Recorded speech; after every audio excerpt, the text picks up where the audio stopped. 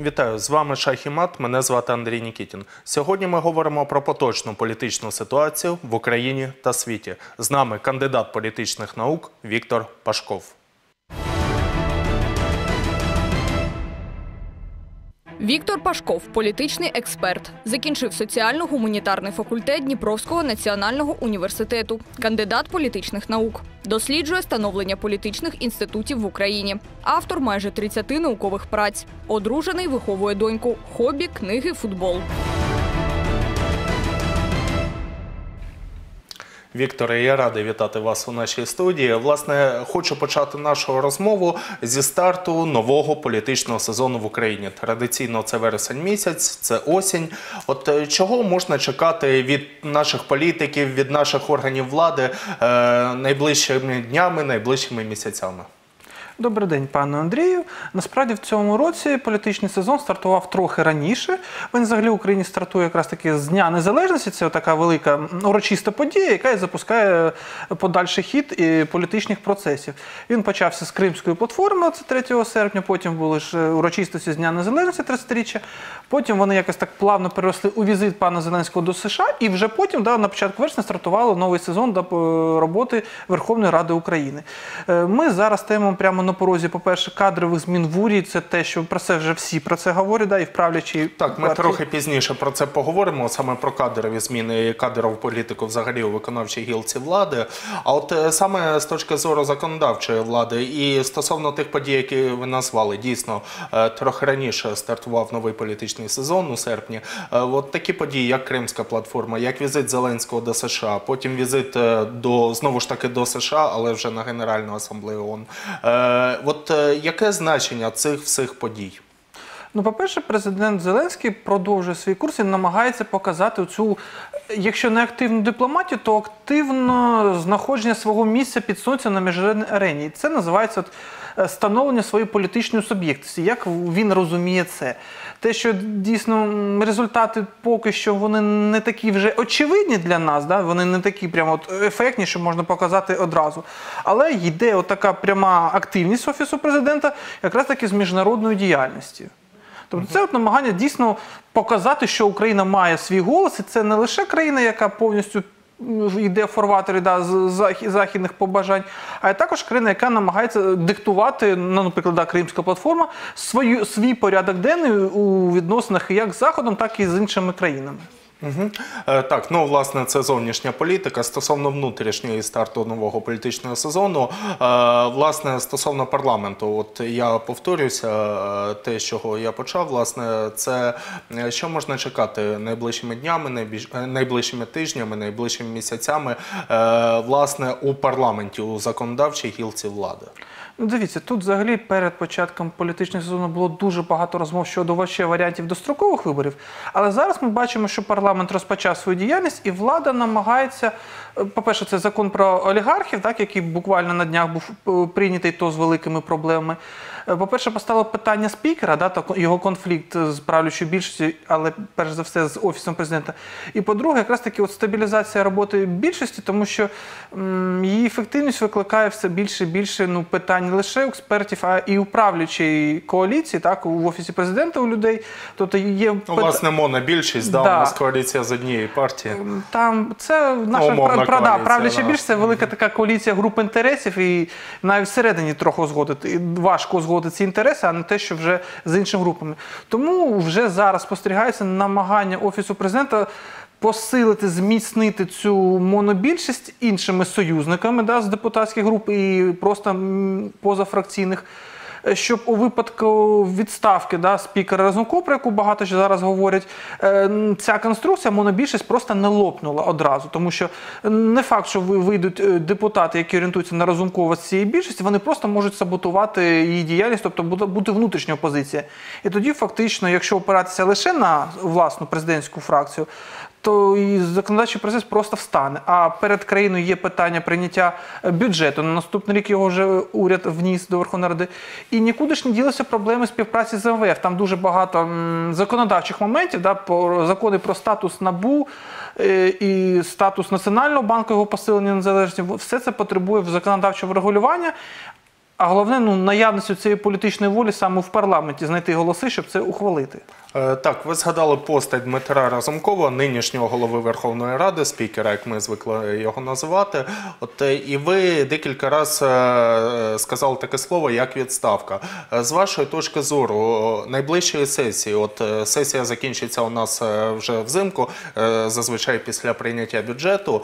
Е, Подивимося, як це буде розгортатися. От на цій сесії саме чи можлива відставка Разумкова? І які наслідки це буде е, це викличе в українському політиці, е, політикумі? Відставка да, спікера закону є більш ніж е, можливою. Так, це фактично ситуація 50 на 50, і воно залежить навіть не від самого Разумкова чи внутрішніх там розкладів внутрі правлячої партії, а лише від остаточного рішення Зеленського. Тут цікаве питання, що дуже багато людей в оточенні президента. Схиляють президента до того, щоб відправити спікера у відставку. Аргументація, я думаю, всім понятно, ми бачимо і у ЗМІ. Він став нелояльним, він грає ну, власну гру, але є і інша точка зору, також всередині президентського оточення, і зам Зеленський до неї е, схиляється. Тому що якщо б він не схилявся, ми б вже побачили спробу відставку. Про те, що якщо відправити Разумкова прямо зараз у відставку, чи найближчий там місяць, то, по-перше, це виключить те, що я сказав, проблеми в монобільшості. Тобто на Разумкова вже зараз орієнтується понад 20 людей, депутатів да, всередині «Слуги народу. Тобто питання от законодавчої роботи цієї більшості. Це фактично така невеличка фракція. Група, да. Тобто ці люди переважно перейшли за списком, їх рекомендував саме Разумков під час складання партійного списку слуг народу. Але ж це його люди, тобто ну, вони з ним підуть потім в інший політичний проєкт. І по-друге, е- Соціологія все ж таки показує, що Разумков, маючи великий креди... баланс довіри, хоча і рейтинг невеликий, у випадку, якщо він публічно або заявить про свої амбіції йти на парламентські, або ж на президентські вибори, або ж просто його якраз таки відштовхнуть, подавши відставку, він фактично потрапить же в опозицію. Він одразу стане ну, політичним суб'єктом, який може претендувати на 6-7% одразу, тому що він стане, ну, якщо не жертвою режиму, то він ну, покаже свою позицію, яка таки буде і професійною, і вона чітко буде конфліктною щодо слуг народу. А ці 6-7%, де він візьме? Він відтягне їх саме у президентської сили.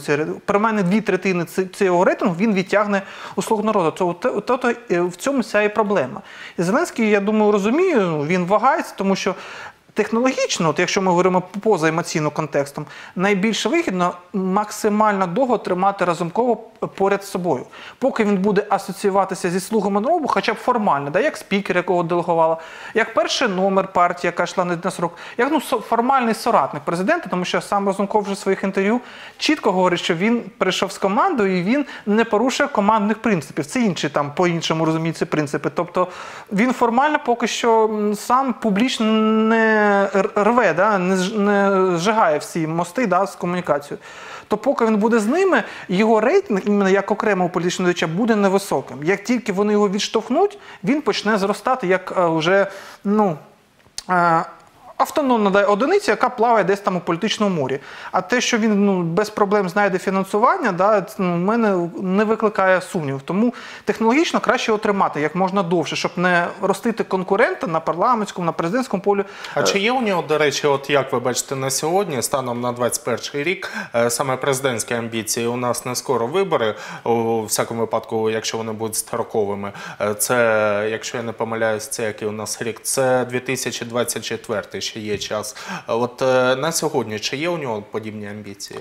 Я ж не можу говорити за пана Розумкова. Ні, ну так? зрозуміло. Ну як ви Але з його поведінкою- судячи з його заяв, з його виступів, з його публічної діяльності? З його от поведінки і взагалі стратегії, вибудовував, вони є. Вон це можна вже побачити незброєним оком. Ну це певна впевненість, то що, по-перше, ну закриті соціологічні дослідження показують, що він може претендувати на 5-7%, як його партія, як і він. А по-друге, тут же питання, що людина публічно має вийти і сказати Я йду. А то, що зараз заміряється, ну це таке дуже ну, маніпулятивно, тому що дуже складно передбачити реакцію людей, да, поки людина прямо не сказала. А по-друге, у Разумкова є ефект новизни. Як і у мера Кличка, він не асоціюється зі старими елітами. Тобто будь зараз чому Зеленський має такий високий рейтинг? Тому що його завжди заміряють у лінійці з конкурентами, які представляють стару формацію еліт. Порошенка, Бойка, Тимошенка. Ну, ті, хто власне брав участь у виборах 2019 року. Ну і взагалі вже були в політиці понад один електоральний цикл, тобто понад 5 років. А якраз таки Разумков є новим обличчям, і він же і намагається себе позиціонувати не просто як нове, ще й професійний. Тобто він намагається свій імідж будувати на декілька стовпав. Молодий, новий, професійний, ну доволі щепетильний до правових моментів тощо. Тому якраз таки у нього є. Я не можу сказати, що він має реальні шанси, але те, що він може розглядатися навіть сам себе як потенційний ну, учасник президентської гонки, який буде вирішити власне завдання, навряд чи це буде перемога, але власні, то це так. І я думаю, знову ж таки, я про це говорив на початку.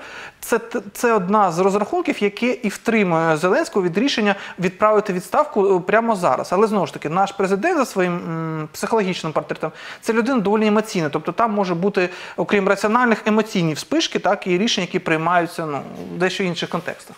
Е, Так, ну а власне я хотів е, запитати, чи є можливість саме цієї сесії, або можливо у найближчі місяці, переформатування саме парламентської більшості із монобільшості, е, скажімо так, в коаліцію декількох е, або двох політичних сил, хоча б Е, скажімо, це слуги народу і Європейська солідарність, чи батьківщина, чи голос, чи якась інша політична сила, яка представлена сьогодні в парламенті.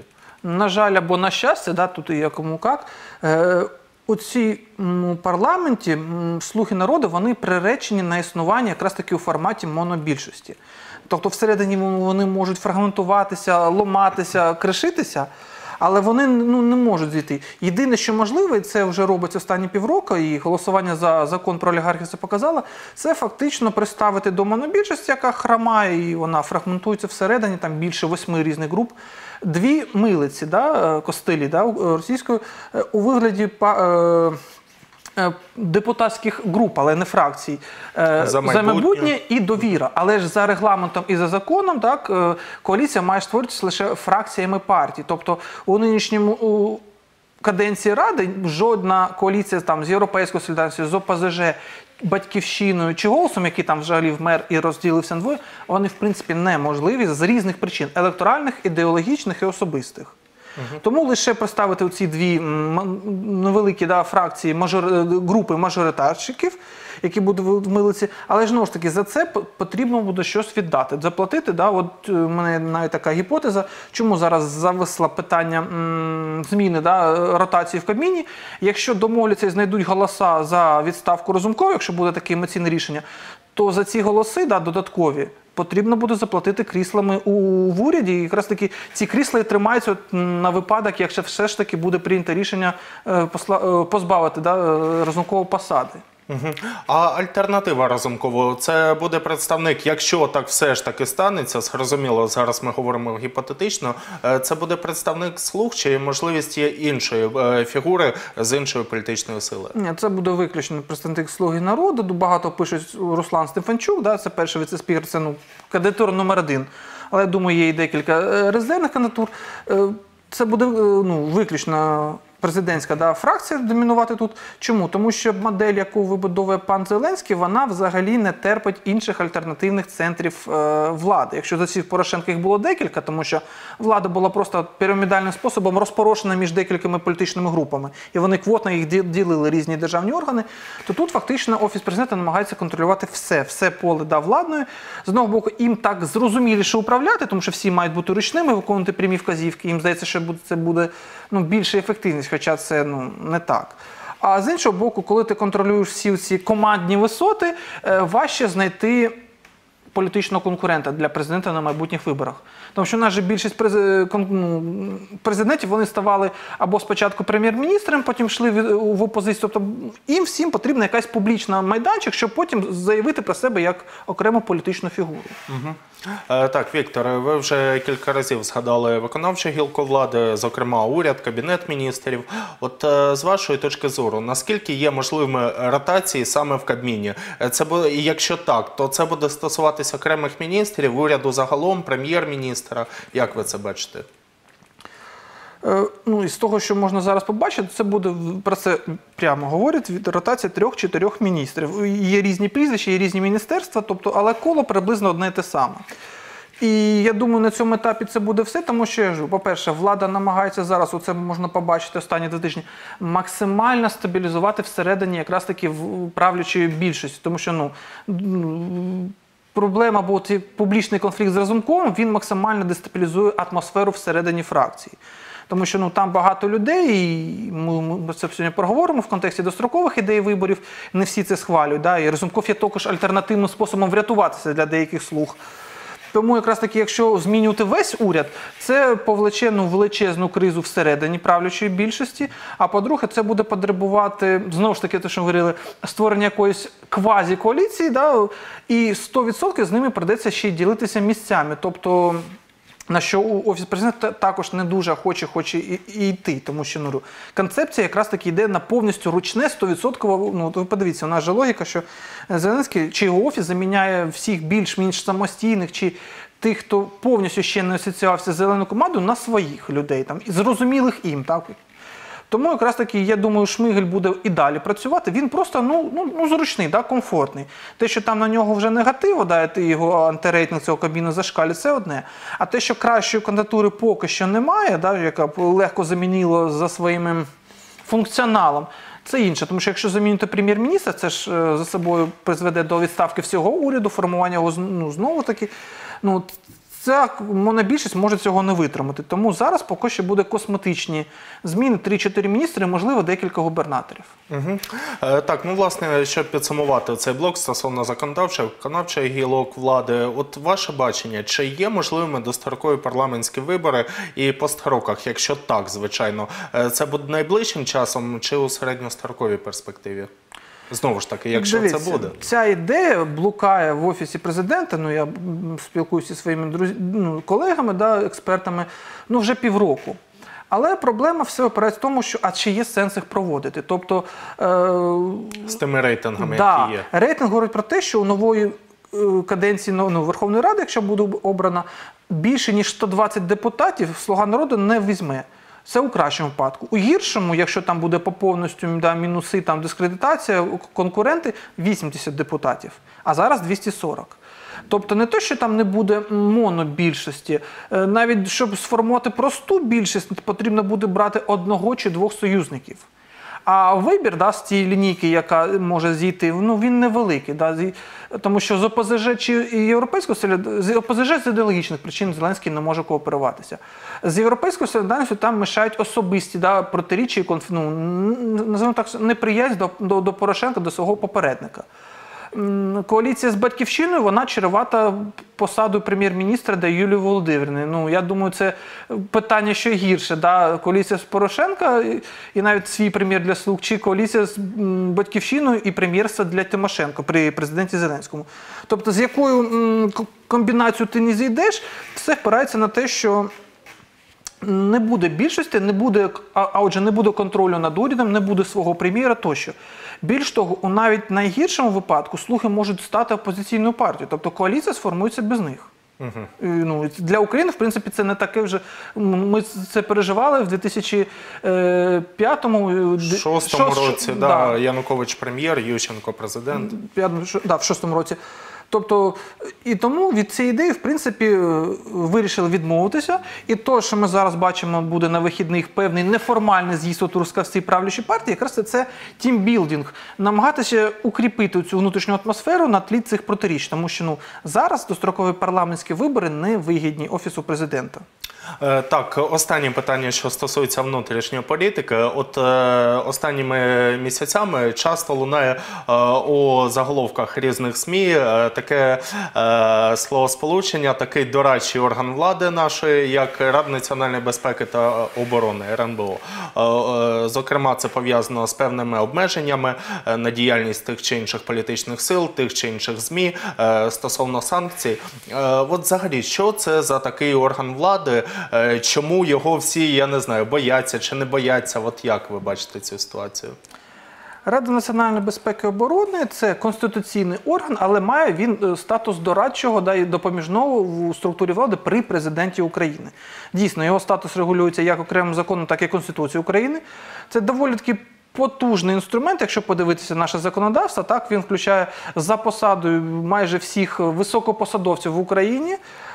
Але ну, Якщо в західних країнах це доволі таки потужний елемент з точки зору сектору безпеки і оборони управління ним, да, який допомагає або прем'єрам, або главам держав е, керувати цим сектором, то в Україні він традиційно був відстійником. Тобто це був певний резервуар для збитих е, льотчиків, як називають чиновників або політиків, які були у відставці, чи потрібно їм було десь там пересидіти.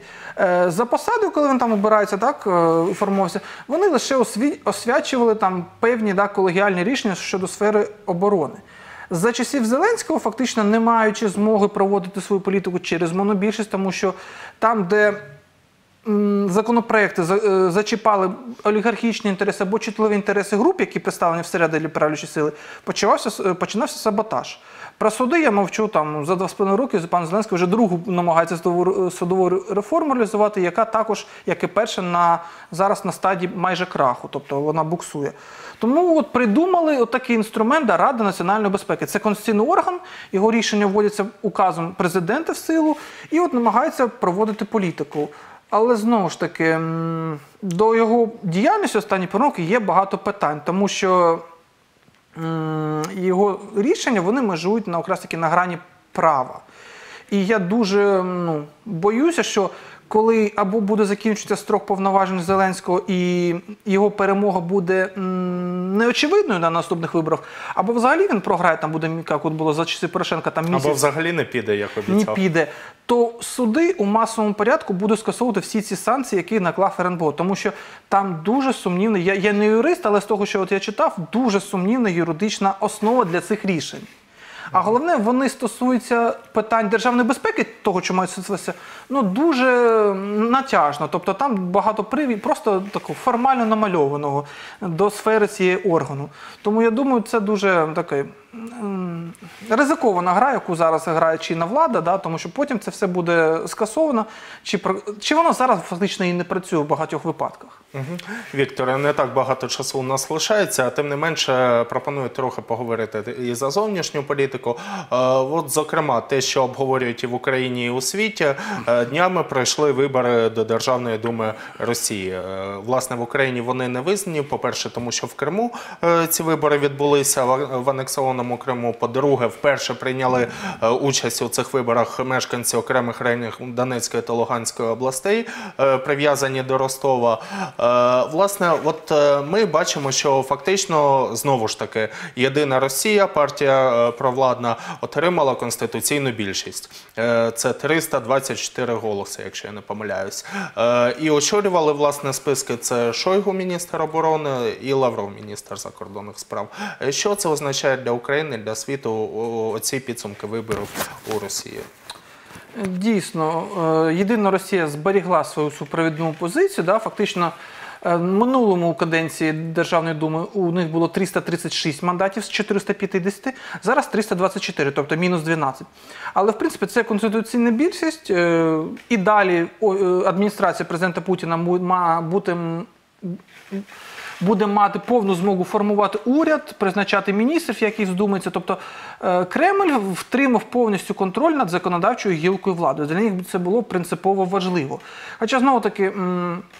Партійна система Росії після виборів ще 2017 року вона е, якраз таки залишається у стабільному такому консервативному стані. Є 4-5 партій, які представлені в Державній думі. Е, Роль єдиної Росії як домінуючої партії або домінантної, вона взагалі ні ким не дискутується. Так, це правляча сила. Все решта це ну. партії, які відіграють роль квазіопозиції. Ну, але вони все ж таки включені якраз таки в сам політичний режим, тобто вони є. Пас- Пасмами е, рівнями безпеки для Кремля, які там соціальні групи не можуть охопити єдина Росія, охоплюють комуністи, ЛДПР або справедлива Росія тощо. Е, Для мене показувало те, що була не, не допущена опозиційні сили, явно такі, ну які є опозиційні до саме до путінської системи. Це якраз таки рух Навального. Оце для мене був би показник, скільки б він зміг набрати навіть ем, в умовах неконкурентного голосування, тому що ну був великий адміністративний ресурс. По-друге, для мене е, показово, що там вже була змішана система виборча, тобто 225 за партійними списками, 225 за мажоритарними. Так от, серед 225 мажоритарщиків 198 це були представники Єдиної Росії, перемогли. Тобто це свідчить знову ж таки про адміністративний ресурс і неконкурентність виборів. Для України це не змінить геть нічого, тому що з одного боку. Державна дума взагалі в Росії в структурі е, російської владної конструкції не грає великої ролі. Е, Це просто дає Путіну знову ж таки елемент спокійно правити далі. Але можна сказати, що в принципі Росія зараз знаходиться вже на порозі е, великих змін. І питання не в думі, тому що там все зрозуміло, да, там консерватизм, а питання щодо транзиту влади, хто буде після Путіну. Тобто питання 2024 Я року. просто дуже сумніваюся, що він піде на ці вибори. А от е, знайти рівно таку ж фігуру, яку б можна було передати владу, е, там і от цей список, да? Шайгу чи Лавров, але вони за своїм віком вони не можуть тягнути на е, спад- спадкоємця да, е, влади. Від Путіна, ну тому що вони, вони асоціюються якраз таки повністю з Путіним і якраз цією когорти. Це має бути от Ну, хтось подивимося, інший. да, це питання 24-го року. А для Вікторе, Вікторе, на жаль, мало часу лишається, не можна не задати питання. Також інші вибори відбулися от буквально е, цієї неділі. Це вибори у Німеччині. Е, Перемогу е, здобули соціал-демократи. От знову ж таки, таке ж питання. Буквально півтори хвилини у нас лишається. Що означає Меркель піде однозначно вже. Вона не буде канцлером. Е, Що означає перемога соціал-демократів для України, для Європи загалом? Так, соціал-демократи вперше за 16 років перемогли, здобули перше місце. Результат партії Меркель 24 там, відсотки, трохи більше. Ну, найнижчі за з 1949 року. Вони програли ну, майже у всіх своїх Власне, базових це створення партії ХДС. Да, у всіх своїх базових регіонах, тому зараз, звичайно, буде формування коаліції, жодна партія не може прийняти. І найбільш така віргійна коаліція це соціал-демократи, вільні демократи і партія зелених. Для України е, фактично. Курс Берліну щодо України він, не зміниться. Тобто е, трубопровод Північний потік 2 буде запущений, тому що у соціал-демократів багато симпатиків цього проекту, і його лідери його підтримують. Ну, колишній прем'єр Шрёдер, якраз соціал-демократ, да, у наглядовій раді Газпрому знаходиться. Е, Тому Іру, от я вважаю, що курс Німеччини щодо України він не зміниться. Це буде така ж стримана політика підтримки, але відносинам з Росії буде відділятися все ж таки перше місце, якщо порівняти з Україною, тому що різний товарооборот, різні енергетичні проекти. Тому сказати, що там наші перспективи чи просування на шляху євроінтеграції чи шляху до НАТО зміняться, я не можу. Тобто Німеччина буде і далі дотримуватися цієї політики. Тут можна сказати, що є певний навіть консенсус, тому що і Меркель останні 5 років правила якраз таки у змішаному е, кабінеті, де були ХДС та соціал-демократи. Тобто особливих змін чекати не слід. Не, слід. Віктор, я вам дякую за цю розмову. Нагадаю, сьогодні ми спілкувалися з політичним експертом Віктором Пашковим. На все добре. Дякую.